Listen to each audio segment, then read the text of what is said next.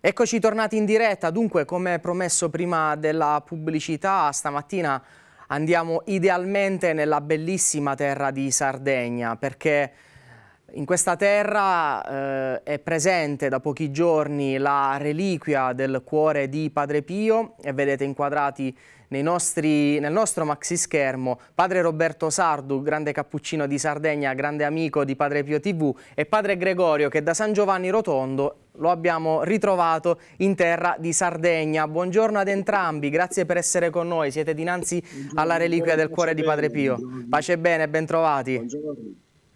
Grazie. Allora, padre Roberto, partirei da te e con te. Spiegaci un po' il senso di questa iniziativa, di questo cuore di Padre Pio, questa reliquia così importante, insigne, che arriva in una terra di santi, perché la Sardegna davvero ha dato tanti santi, non solo all'ordine dei frati minori cappuccini, ma anche alla Chiesa universale.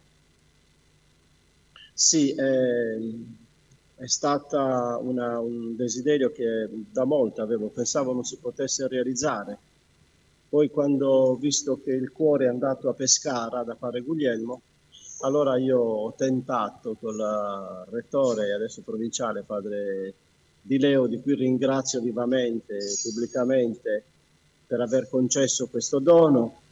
E dopo tante insistenze, sia con lui, poi rivolto al nostro arcivescovo Monsignor Batturi, che è anche segretario della CEI, quindi subito ha fatto domanda, accolta volentieri, eh, con l'arcivescovo di San Giovanni Rotondo, Monsignor um, Franco Moscone e poi il prefetto della Congregazione dei Santi hanno dato una risposta positiva eh, al mio desiderio che venisse qui in, Sard in Sardegna, qui nel santuario della Madonna della Consolazione. Mm dove riposa nei resti mortali del servo di Dio Fra Nazareno, che era suo figlio spirituale. E parleremo anche di questo di rapporto, Padre Roberto, con Fra eh, Nazareno. 1-8 giugno sono le date che avete individuato per ecco, questa ostensione del cuore di Padre Pio in terra. Abbiamo individuato queste date perché il 2 giugno c'era il convegno eh, regionale dei gruppi di preghiera. Mm -hmm. È una data importante, sono date importanti. Quello su cui vorrei, mi vorrei soffermare, padre Roberto, è sulla folla immensa, perché io ho letto anche un po' le cronache dei vari giornali locali, seguendo anche il tuo profilo social, insomma si nota che la gente di Sardegna vuole bene a Padre Pio, vuole tanto bene a Padre Pio e permettimi, forse non vedeva l'ora che eh, davvero fisicamente fosse presente in mezzo a voi. Sì, penso proprio di sì, perché la Sardegna ha avuto tanti figli spirituali di Padre Pio, tra cui noi abbiamo avuto un vescovo che è stato anche arcivescovo di Foggia, Monsignor Paolo Carta, uh mhm. -huh. che ha consacrato anche la chiesetta antica, eh, sì, Santa Maria delle Grazie, diciamo, l'aveva consacrata a lui, eh, Padre Pio vivente, erano amici, quindi lui ha portato tanta devozione di, di Padre Pio in Sardegna poi qui c'era anche, che è morta centenaria, la tata dei figli del dottor Sala, che era medico di Padre Pio e sindaco di San Giovanni Rotondo, eh, che è vissuta per 30 anni a San Giovanni Rotondo, poi è tornata in Sardegna, è morta l'anno scorso. Padre Quindi Gregorio. devozione. E poi anche sì. per la gente che non si può recare a San Giovanni Rotondo, è un pellegrinaggio continuo di persone e solamente ieri ci ha guastato un po' la pioggia, altrimenti le messe vengono celebrate all'aperto. Sì. Infatti, come dicevo, ecco, le cronache eh, parlano proprio di questa folla immensa. Vorrei andare ora da Padre Gregorio, eh, Padre Roberto, perché sì. eh, Padre Gregorio fa parte ecco, un po' della Gregorio. delegazione dei frati di San Giovanni Rotondo che hanno accompagnato questa reliquia eh, in, in Sardegna. Che clima stai trovando, Padre Gregorio? E siamo qui con padre Carlo, il guardiano, e padre Giovanni Delicarri che ci ha accompagnato, anche lui, certamente ci ha accompagnato l'autista Leone Damiano che sta qui con noi. E come diceva padre Alberto, veramente un fiume di gente, di devoti. Eh, posso dire che eh, mio confessionale me ne volevo far uscire. Eh quindi tante volte viene Padre Roberto e dice esci, esci, quindi veramente è una devozione. Come diceva Padre Roberto, ieri nonostante la pioggia eh, la gente è corsa, è corsa veramente, eh, la chiesa era sempre piena di gente, di devoti, si rivolgevano anche a noi chiedendo preghiere e ho visto anche tante lacrime. Padre Gregorio, che cosa chiede la gente di Sardegna a Padre Pio? Quello che chiede la gente veramente ecco, chiede la pace in modo particolare nelle loro famiglie ecco, nel, e nei loro paesi perché desiderano tanto desiderano. Ecco, essendo tanti il Papa che chiede la pace, ma anche io dico più che una, la pace un buon mondiale, ci chiediamo con la pace delle nostre famiglie, che tante volte manca questa pace. Ma chiedono questo e poi certamente eh, si chiede la salute, mm-hmm. la salute fisica, ognuno ha i malati in casa. Eh, quindi eh, chiedono la salute, come veniva da Padre Pio, veniva da Padre mm-hmm. Pio a chiedere la salute, e infatti Padre Pio poi eh, ha creato la cassola della sofferenza proprio per i malati. Certo. È un segno di consolazione importante dunque questa presenza del cuore pregano, della pregano, reliquia. Pregano.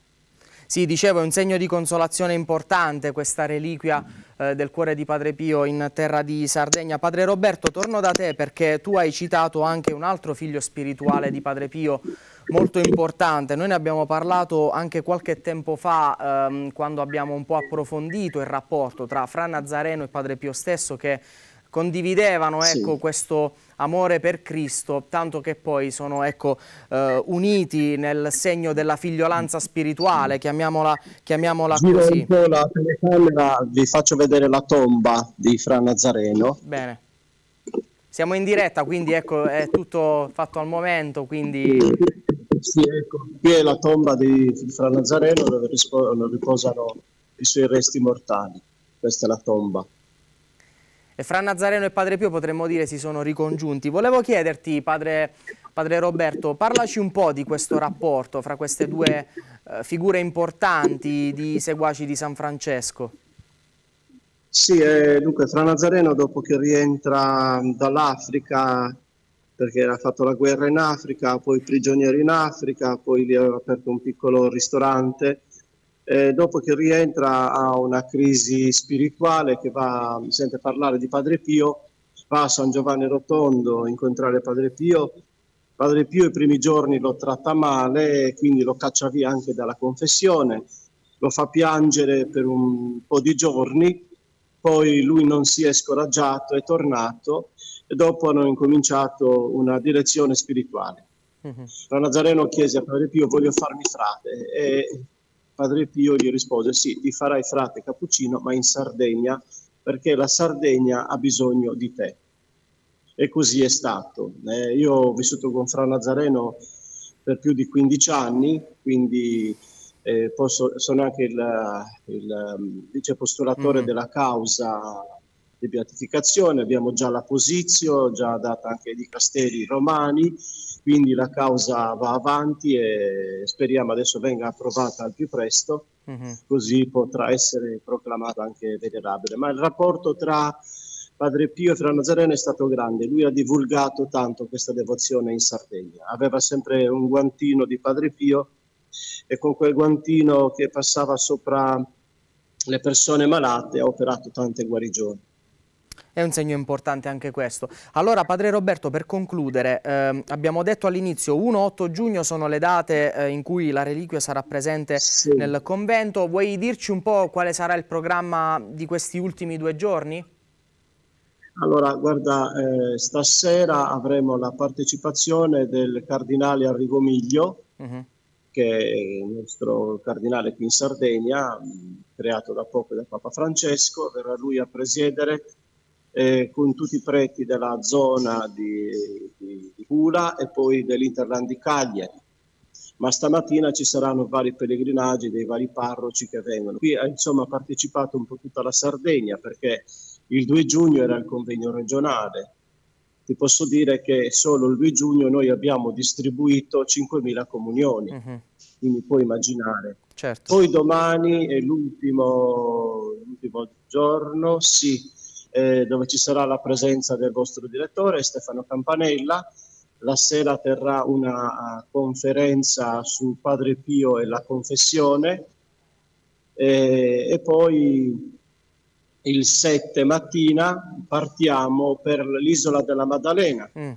Lo portiamo lì perché l'isola della Maddalena c'è un, gruppo, un bel gruppo di preghiera eh, che ogni anno, subito dopo la venuta del cuore, loro ospitano dalla Casa Sollievo i bambini oncologici assieme ai medici e a, ai genitori, tutto gratuitamente, lo fanno già da un paio d'anni, quindi eh, li abbiamo voluti premiare con questa presenza del cuore grande di Padre Pio che è venuto a trovarci. Quindi il 7 partiamo per la Maddalena, sostiamo lì il 7, l'8, eh, l'8 sera si parte per Olbia e i nostri confratelli col cuore, eh, li ringraziamo tanto, ripartono per San Giovanni Rotondo.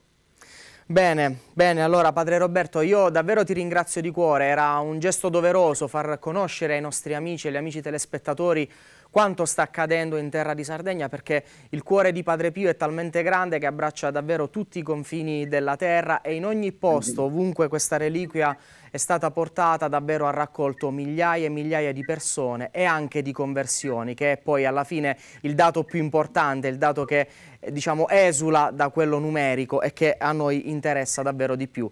Davvero di cuore, grazie, grazie Padre Roberto, grazie a Padre Gregorio, ci vediamo a San Giovanni Padre Gregorio. Ci vediamo il 9, il 9 sì, sì. Benissimo. Pace grazie, pace bene ad entrambi, grazie di cuore e ora ci fermiamo per la pubblicità e poi ritorneremo ancora insieme.